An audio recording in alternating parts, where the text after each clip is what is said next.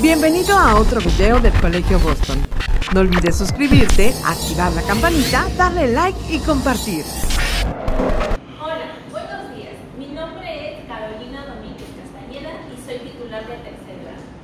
Hoy vamos a comenzar con la materia de ciencias naturales. Es importante resaltar que estos videos sirven para los tres planteles, Chiché, Quintana Roo y Xcún. A continuación vamos a hacer la pausa auditiva, respiración y relajación. Vamos a comenzar pidiendo la ayuda a un adulto para que puedas hacerlo también. Empezamos con el cuello haciendo ligera, ligeros círculos de alrededor. Uno, dos, tres, cuatro, cinco. Ahora de regreso. Uno, dos, tres, cuatro, cinco. Ahora vas a agarrar tus manitas y vas a tallarlas en tu cara, haciendo suaves círculos alrededor para relajar la cara. Contamos hasta 10. 1, 2, 3, 4, 5, 6, 7, 8, 9, 10. Por último, vas a hacer una respiración profunda. Respiramos. 1, aguantamos. 2, 3, 4. Exhalamos. Muy bien. Ahora que estás relajado, vamos a comenzar con el tema. El primero de ellos es lo más pequeño de lo más pequeño. A tu alrededor existen objetos y seres vivos que no podemos ver a simple vista. A estos se les conoce como microscópicos. Y para poder verlos se necesita un microscopio, mucho mayor al aumento que una lupa. La lupa es un instrumento que te puede servir para observar animales como las hormigas. El microscopio te ayuda a observar a estos seres llamados bacterias. Como te mencioné, no los podemos ver a simple vista y necesitamos de ellos.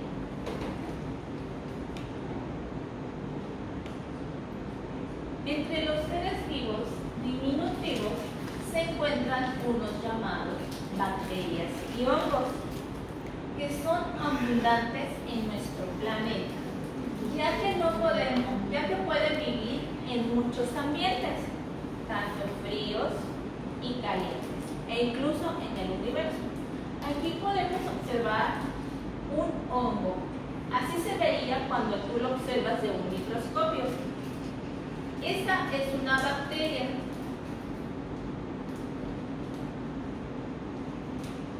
Vamos a continuación a ver ejemplos de hongos.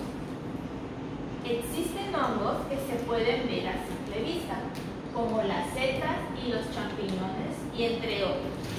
Son microscópicos. También los hongos microscópicos te pueden causar algunas infecciones, como son el pie de atleta. Este te llega a lastimar al pie, realizándote una severa secreción en los pies.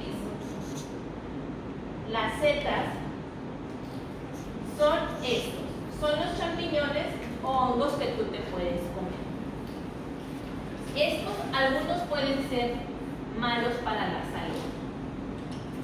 Ahora bien, vamos a ver ejemplos de las bacterias.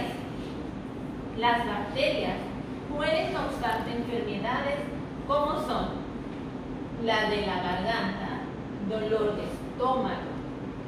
También existen bacterias buenas y malas. Dice, sin embargo, algunas bacterias se usan para elaborar algunos alimentos, como es el yogur y el queso. También existen unos llamados lactobacilos. Esas bacterias te ayudan a mejorar tu digestión. Ahora, ¿quién es Zacarías Jensen? ¿Qué fue lo que hizo? ¿Qué inventó? Bueno, Zacarías fue el primer, la primera persona que hizo el microscopio. Zacarías nació entre 1583 y murió entre 1638. También conocido como Stafford Hansen. Fue un fabricante de los lentes holandés. Fue considerado el inventor del primer microscopio.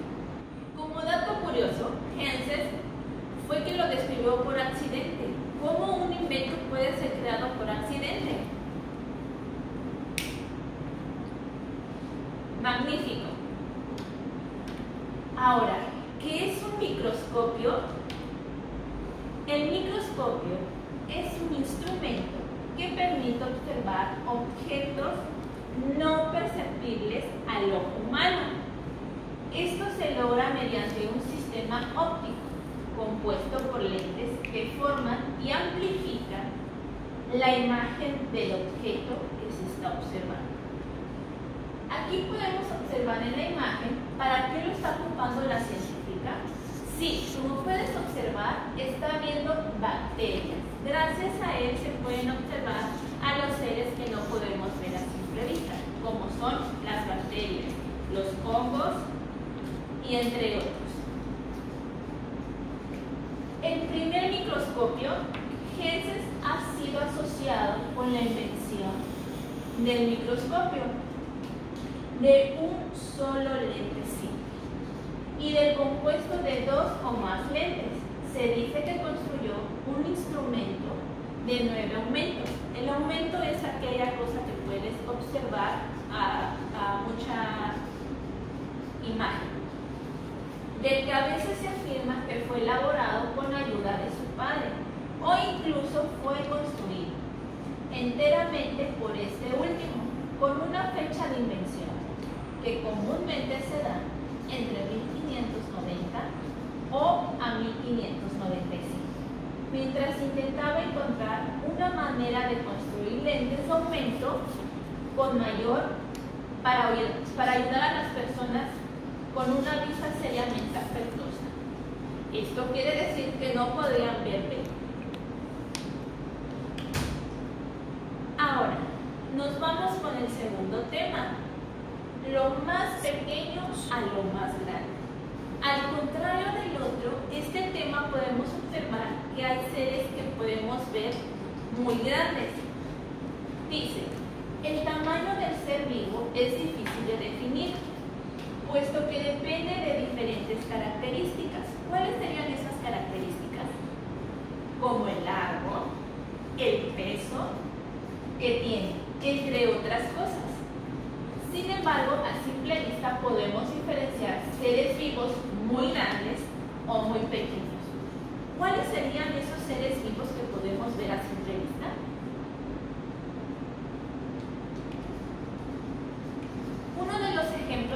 dice, cada uno de estos seres vivos es importante para las funciones que desempeñan el ambiente. Permite que otros seres vivos vivan y se desarrollen en él. Como podemos observar en la imagen, cada animalito ocupa una función. ¿Qué animales puedes ver observar aquí que son grandes? Te doy unos segundos para que los observes.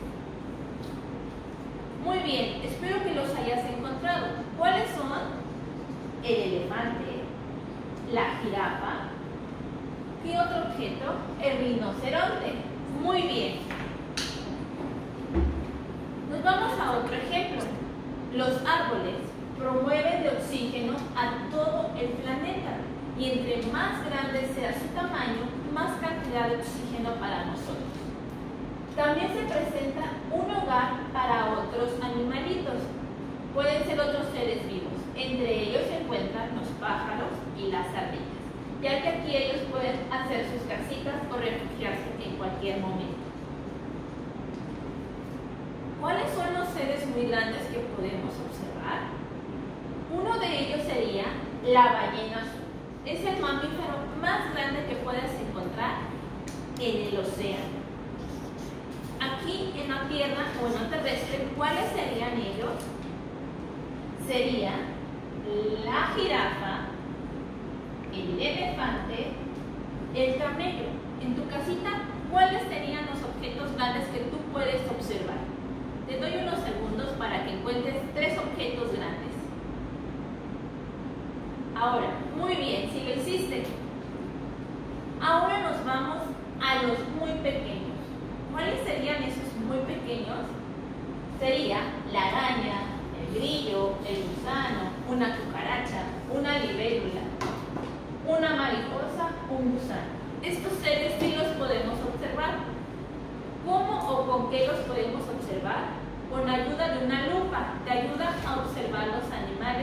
a tamaño más grande.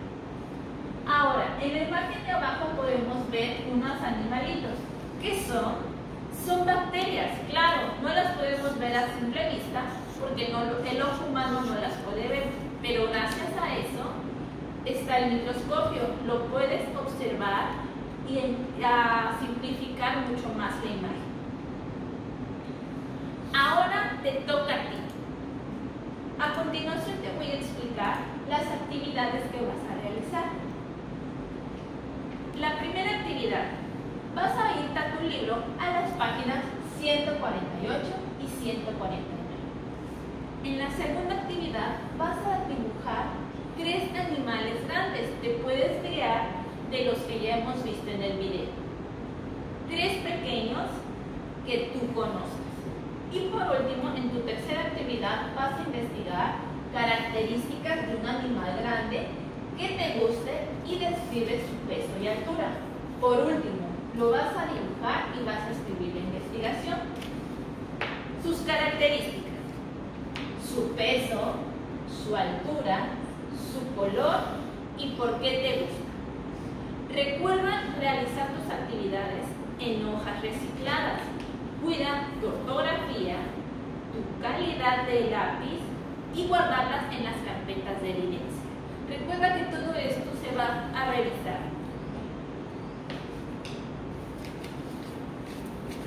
Espero que se las estén pasando muy bien en sus casas. Nosotros estamos aquí trabajando al igual que ustedes. Recuerda que es el apoyo de todos los que todos comprendemos para más fácil, para los temas más fáciles. Ten en cuenta que estas no son vacaciones. Tienes que trabajar las actividades. Recuerda entrar a la plataforma. No olvides enviarlas a tus profesores. Toda esta información la encuentras en la plataforma digital de tu colegio. Espero vernos pronto para seguir trabajando. Cuídate mucho. Gracias por estar atentos a estos videos. Recuerda que en el Colegio Boston está muy al pendiente de todos ustedes. Gracias y recuerda quedarte en casita. Nos vemos pronto.